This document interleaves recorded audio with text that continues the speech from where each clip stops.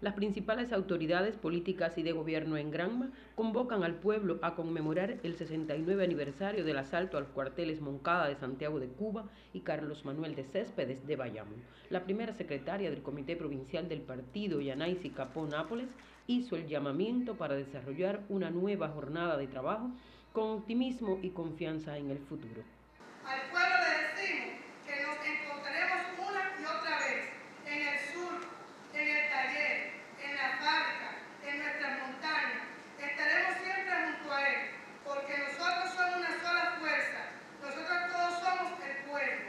refirió que el compromiso de este año es cada vez mayor, toda vez que Granma rinde cuentas de su gestión a la Asamblea Nacional del Poder Popular.